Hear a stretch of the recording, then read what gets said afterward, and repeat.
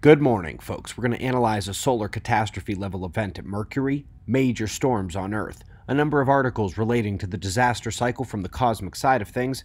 Going to be fun starting at spaceweathernews.com, where the last day on our star was completely dominated by the patchy coronal hole structures. That active region was chased over the limb by those plasma filaments bottom right. While the coronal holes may intensify the geospace solar wind this week, right now the stream is calming purple plasma speed dropping under 400 kilometers per second this morning, down into normal range and geomagnetic conditions, remain quiet, all in the green. Well, folks, that super jet stream crossing the Atlantic took its toll on the weather below. Hurricane force winds, storm surges, flooding, roads blocked, air travel canceled, major waves at the coastlines, and it's not done yet. Eyes open today. Meanwhile, this keeps happening, it's been quite the lopsided season as record snows continue to fall in some areas, while one of the snowiest cities on Earth is left scratching its head wondering where the powder went.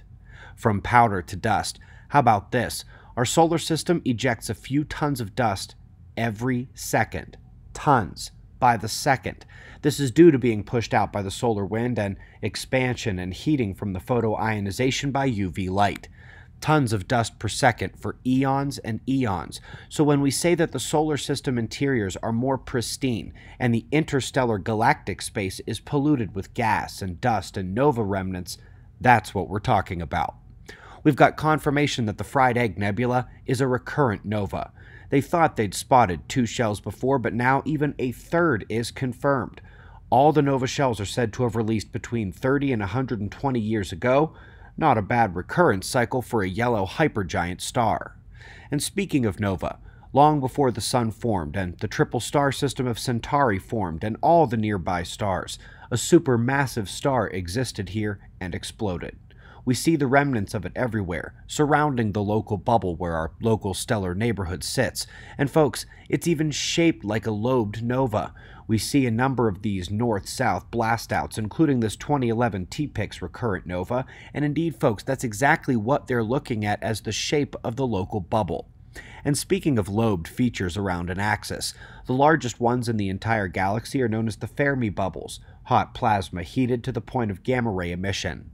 Once upon a time during a galactic outburst, this would have been lit up, much more visible. And interestingly, since everyone who doesn't live at the polar region of Earth sees the galaxy cross the sky vertically like this, had someone been around to see such a galactic outburst and lobe brightening, it would have looked incredibly similar to something we saw yesterday from the lab and numerous central energetic sources in space. So, who remembers Comet ISON? In 2013, during perihelion, it was met with tremendous CME activity from the Sun. Now, from Earth's perspective, the CMEs weren't aimed our way, but Mercury was in prime hit position. In fact, Stereo spacecraft caught the event perfectly here as Stereo A has Mercury in the field of view, bright dot to the left reflecting sunlight, direct CME impact.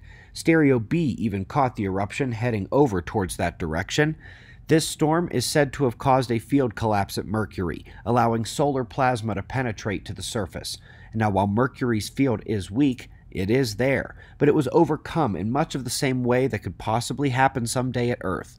We know the Carrington event almost did it already in 1859, and another 200 year storm or one of the more rare super flares would not only collapse the sun facing field, but could arc discharge down with the force of Earth's field and that of the solar wind.